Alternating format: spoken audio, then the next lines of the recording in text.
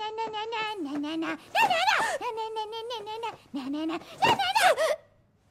now you guys try it. Let's practice how